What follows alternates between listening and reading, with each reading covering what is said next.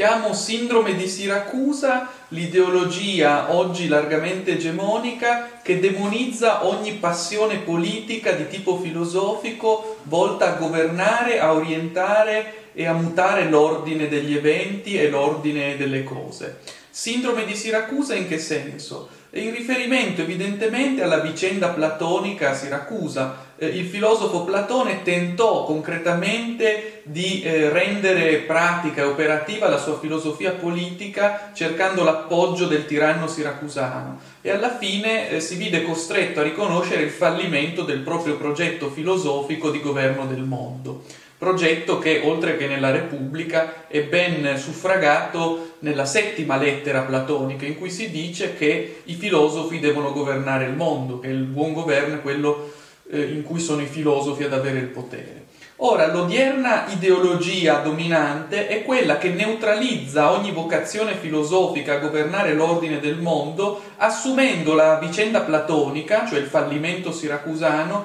come necessario esito di ogni tentativo filosofico di cambiare o di governare politicamente il mondo, come se appunto la filosofia dovesse occuparsi perennemente di altro rispetto alla politica e al tentativo di cambiare le cose politiche di questo mondo. Eh, l'ideologia oggi dominante è quella che spoliticizza la filosofia, riducendola o a chiacchiera per semicolti, o a festival irrilevante, o a serenata per lo status quo, o a pura scienza valutativa del reale, riconducendola quindi al registro delle scienze naturali. Insomma, l'ideologia è quella che neutralizza la filosofia e la sua naturale, vocazionale passione politica volta a cambiare le cose. Eh, oggi la vicenda platonica a Siracusa è diventata l'emblema per le ideologie dominanti della necessità di tenere a distanza la filosofia dalla realtà politica. Laddove invece la filosofia, come mostra bene la vicenda platonica, ma in fondo come mostra tutto il canone occidentale, è intrinsecamente politica, perché la filosofia, nella sua determinazione più ampia, si caratterizza per essere una conoscenza della totalità, una sua valutazione assiologica e una sua conseguente trasformazione pratica qualora la totalità non corrisponda alle proprie potenzialità.